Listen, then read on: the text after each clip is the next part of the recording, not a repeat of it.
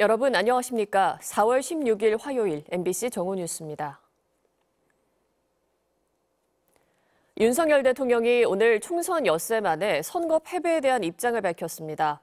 총선 민심을 겸허하게 받아들여야 한다며 자신부터 민심을 경청하겠다고 말했습니다.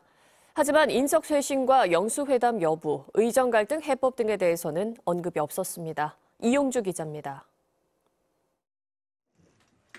국무회의 모두 발언으로 총선 참패 관련 입장 표명에 나선 윤석열 대통령은 더 낮은 자세와 유연한 태도로 보다 많이 소통하고 민심을 경청하겠다고 밝혔습니다. 이어 취임 이후 지난 2년 동안 국민 기대에 미치지 못했다고 했습니다.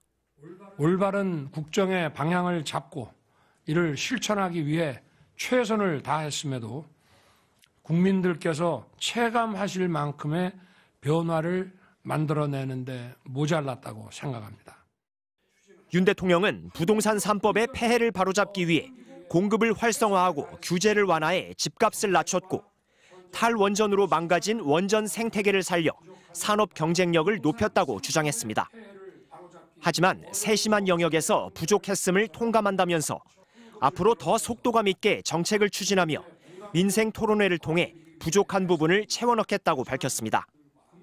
의대 증원을 둘러싼 의정 갈등의 해법에는 구체적 언급 없이 기존 방향성을 강조했습니다. 의료 개혁을 계속 추진하되 합리적 의견은 더 챙기고 귀 기울이겠습니다. 총선 패배와 관련해 윤 대통령은 국회와 긴밀하게 협력하겠다는 원론적 표현 외에 영수회담 여부나 내각 참모진 교체, 최상병 특검법 등 관심이 높은 현안에는 아무런 입장을 밝히지 않았습니다. 야당들은 일제히 혹평했습니다. 오늘 윤석열 대통령의 대국민 메시지는 조금이라도 국정의 변화를 기대했던 국민을 철저히 외면했습니다.